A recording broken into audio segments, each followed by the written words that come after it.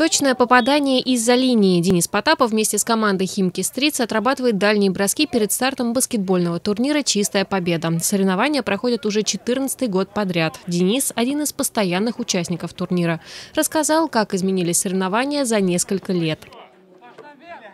На самом деле с каждым годом уровень все растет и растет, и организация растет. В этом году вот уже судьи, то есть две площадки резиновые, опять же, это да, огромный плюс. В этом году на турнир приехали игроки из Монголии и Сербии. В стартовом листе 40 команд, в том числе и женские. Всех их ждал сюрприз. Главная звезда мирового баскетбола Тимофей Мозгов лично приехал в Химки, чтобы открыть турнир по стритболу. Чемпион НБА поддерживает десятки турниров любительских команд по всей России, ведь сам когда-то начинал с дворовых площадок. Какие наставления ребятам? Самое главное – честно играть, а, играть открыто и стараться побеждать, не лениться, вот, и без травм, и уважать друг друга на площадках. Несмотря на э, то, что это улица, все равно надо друг друга уважать. Вместе с чемпионом НБА турнир открыл и глава городского округа Химки Дмитрий Волошин.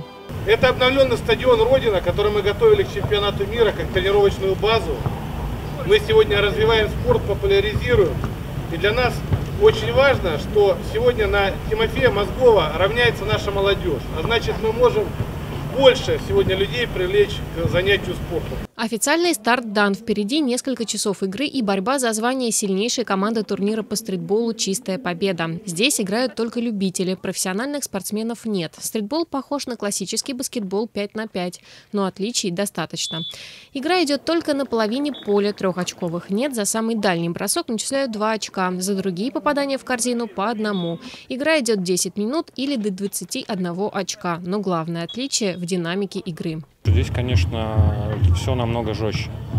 Если, допустим, в большом э, баскетболе, там практически любое касание это фол. Ну, не практически, да, любое касание. Ну, очень много, да, фолов. То здесь можно играть намного жестче, и судьи дают играть. Это как бы и плюс, и минус, ну, иногда можно. Азар, да. Еще одно отличие стритбола – мяч. В классическом баскетболе играют самым большим мячом, или, как его называют сами спортсмены, размером семеркой. А в баскетболе 3 на 3 выбрали мяч размером поменьше, шестерку. Оба мяча весят одинаково, но для такой динамичной игры, как стритбол и игры на маленьких площадках, лучше подходит шестерка.